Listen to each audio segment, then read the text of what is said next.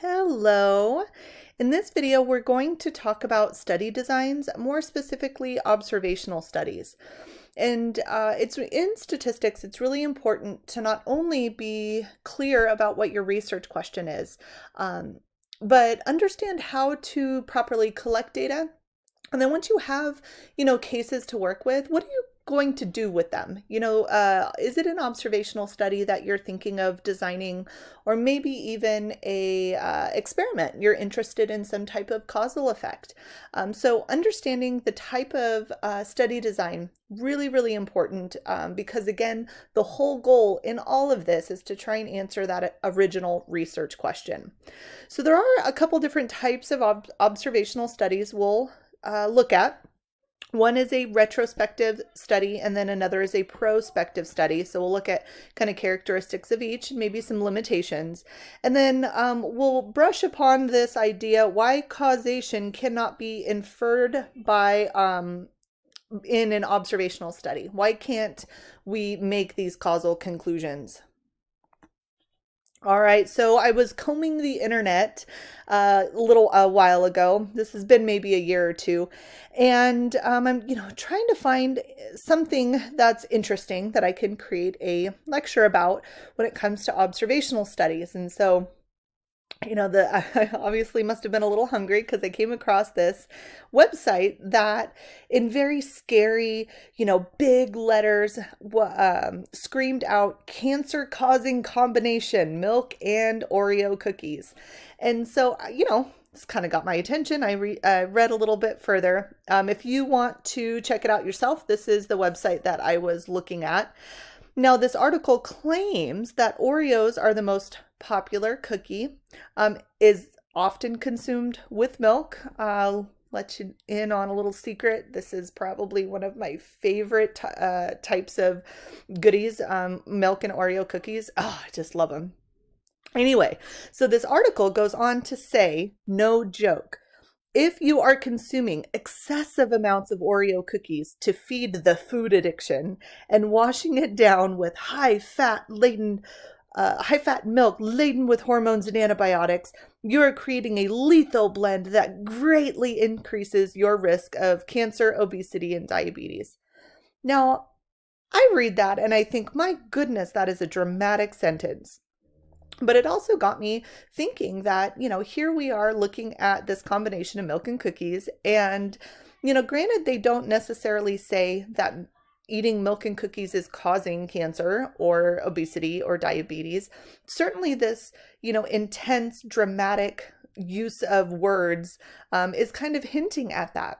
And so, you know, we'll use this just as a motivational example, but I always want to sort of promote really critically thinking about the conclusions that you read, especially when it comes to the internet, um, you know, and, and really be thoughtful of, you know, can they make this kind of a conclusion based off of the data that they are supposedly basing it off of? All right, so again, we're just going to go ahead and use this milk and cookies example as um, as a like a motivational example. So let's get the um, our head wrapped around the variables that are in the mix. So consuming large amounts of Oreos and milk, um, that's one of the things that the researchers are believing it might explain rates of developing cancer and so on. So since we believe that consuming large of large amounts of Oreos and milk might explain cancer, uh, developing cancer. We'll call this our explanatory variable. And developing cancer, we'll just sort of focus that on that um, as our as we move through this lesson. That is going to be considered our response. All right, so if researchers were really interested in targeting, you know, this uh, relationship or explaining this relationship, we would think of milk and cookies as an explanatory variable, developing cancer that, you know, is thought to uh, be in response to the explanatory. So we'll consider that our response variable. All right, so suppose we were interested in determining if the combination of milk and Oreo cookies really does cause cancer, right? That's you know, the, at the heart of our question, does this combination of food cause cancer? What kind of study would we have to actually design? All right. You think an experiment? Because that's what I'm thinking. Absolutely. Now, we'll talk a, a little bit more about how uh, causal conclusions cannot be drawn from observational studies, or at least one or two observational studies. Um, and I'll save that towards the end. But yes, if you want to cause uh, make a causal conclusion, like does milk and cookies really cause cancer, we've got to design an experiment. All right, so if we were to design an experiment around this, um, we would have to randomly, randomly assign some adults to consume large amounts of Oreo cookies and milk. Um, we would then have to randomly assign others to completely stay away from that combination completely. Uh, we would then determine of those that were in the milk and cookies group, how many of them developed cancer and um, if that was at a higher rate than those that stayed away from it, right? Because that's what we would have to do for an experiment if we were to design a, an experiment. All right, big question. Is that an ethical study? Is that a good thing to do? Hey, would you sign up for that? Hey, come on down to Bob's uh, experiment. We are uh, trying to figure out if milk and cookies gives you cancer. So um, you guys will eat the combination, you guys won't, and we'll see what happens. Yeah, definitely not ethical. No, no, no. All right, so the reason why I even bring this up is that sometimes researchers might want to answer this kind of question, right? Is the combination of milk and cookies causing some types of cancer? Well, the we can't design an experiment around that. So observational studies are the thing that we will have to uh, rely on. Now, there are some limitations, and so we might not be able to really get at this, you know, does X cause Y conclusion that we want, but we can get pretty close. Um, years and years of studies, if they come up with the same sort of conclusion, you know, with all of this evidence, we might be able to say that there really is sort of this causal link. That's why you hear, uh, you know, smoking causes lung cancer.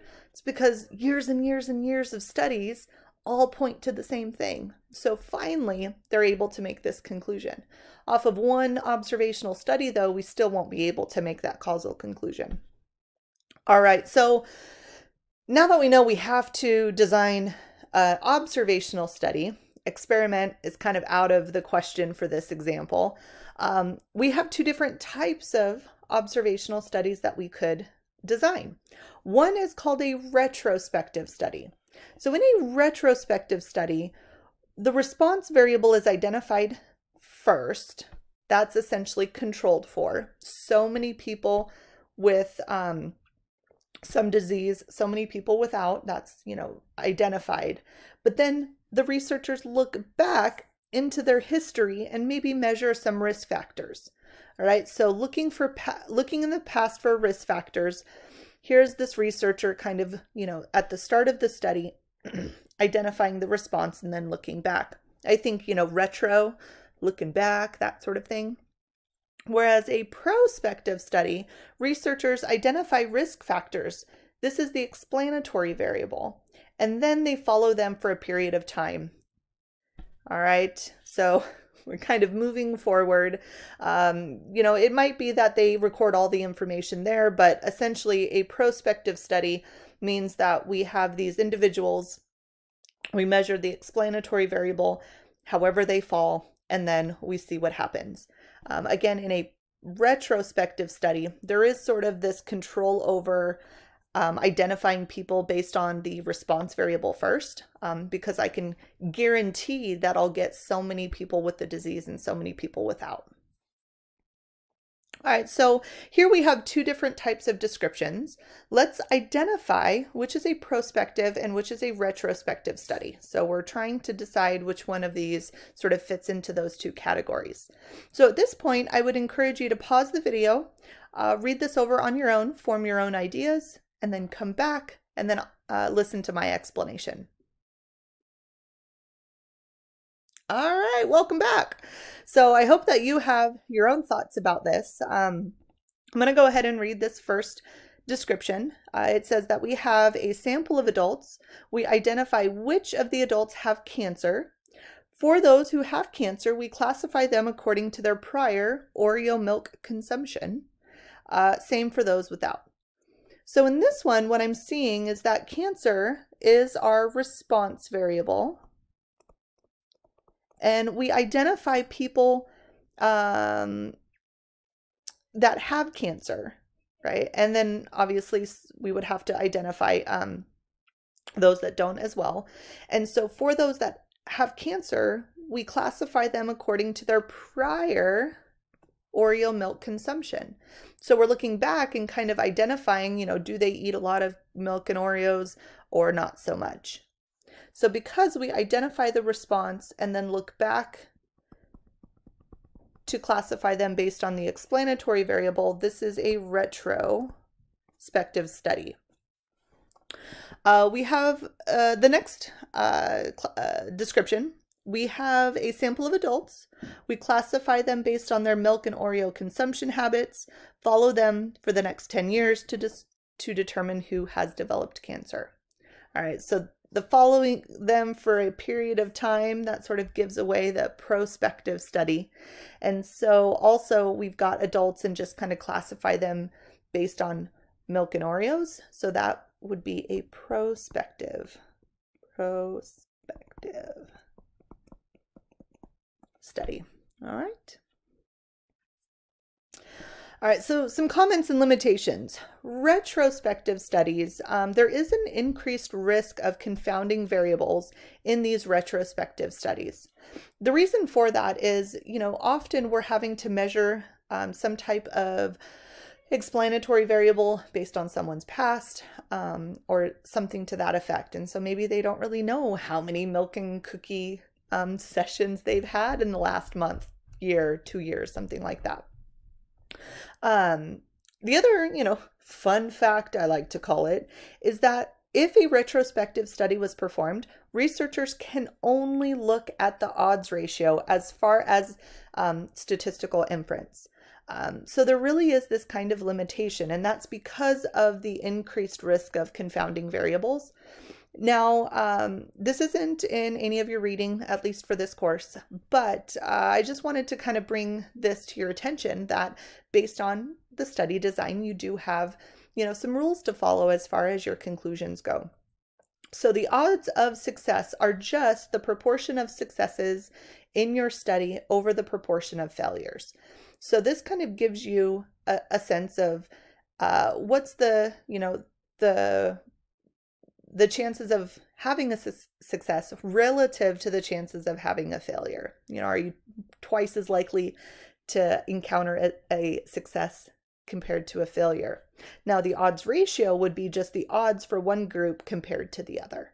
And so when it comes to the time where you have to make a statistical um, conclusion, it can only be on this odds ratio. Odds ratios, I don't know about you, they're not really intuitive to me. Uh, they they take some some really thinking about for sure. And um and so with that being said and considering these kinds of limitations do you think it's important to understand how the study was designed before making a larger uh, a conclusion? Like yeah absolutely. Super important to know how the study was designed because if a retrospective study was designed um, and I see some researcher, you know, just comparing proportions. Well, I know that that's not appropriate. One nice uh, thing that retrospective studies can offer is what if you're studying some really, really rare disease? Well, if you just randomly sample, you know, adults from some population, if your disease only happens at a 1% rate, well, then, you know, in a sample of 30 or 40 adults, you might not get anybody with this disease. Whereas a retrospective study, you're able to control for that a, a bit. You can get cer- you know a certain number of individuals and identify them, uh, and then uh, identify them based on you know their they them having the disease or not. And then you can go you know back and, and take the measurements that are appropriate to your study. So it does offer that additional element of control making sure that you get someone with some disease or make sure that you get you know at least some individuals that um, are you know have some you know um, characteristic that you're looking for. But uh, but again there are some drawbacks as well. Now with prospective studies, these are much more popular, um, easier to design. You get more flexibility with the kinds of analyses you can run on data from prospective studies. You are able to reduce some of those possible confounding variables because you're either measuring the response variable um, yourself um, or you're measuring some explanatory variable, you're recording information as time goes on. You are able to compare simply the differences in proportions of successes. Um, you can also compare the odds ratio or the odds as well. So you do have, you know, more tools that you can use when it, a prospective study has been decide, uh, designed. So when you hear, you know, quote, observational study, it's probably a prospective study if, you know, you had to take a guess. Retrospective studies are not as um, popular mostly because of those limitations. Now, I've said this word a time or two confounding variable. What exactly is that? Well, a confounding variable is a variable that has an influence on the response, but its effect on the response cannot be distinguished between or distinguished from the effects of the explanatory variable. So in other words, here I have a response variable. I'm pretty sure the explanatory variable might be influencing it, but this other confounding variable could be as well. And I don't really know which variable is, is changing the response. Is it the explanatory? Is it this confounding variable? It's really hard to tell. I can't distinguish the effects um, on the response between these two variables.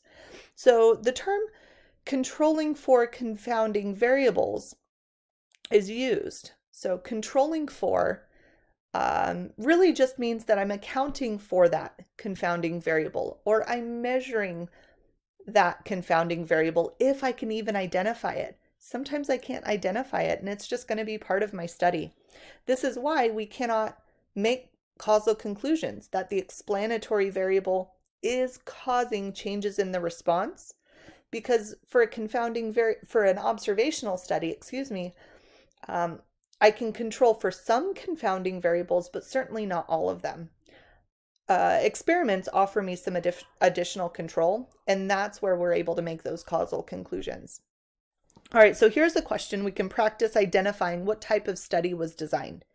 So in one study, looking at obesity and cardiovascular disease, um, a little over 3,000 women uh, years ago were classified as obese or not according to their weight, um, divided by the square, uh, the square, the square, it's misspelled that one, uh, typo, sorry about that. Um, anyway, they were classified as either obese or not. These women were followed for a number of years and the number of women in each category who died from cardiovascular disease was recorded. All right, so it looks like they were classified based on their weight, um, obese or not, and they had some classification for that. So weight is one variable. And then it looks like dying from cardiovascular disease, that is another variable that they're measuring. But since they identified individuals based on weight, which we would consider an explanatory variable, dying from cardiovascular disease, that would be our response. Doesn't this sound like a prospective study, right? They were these women were followed for a period of time. Prospective study is what we've got going on. Certainly not an experiment at all because we did not randomly assign these women to any type of treatment group. All right, everyone. Well, thanks for listening. Tune in for a video on experiments.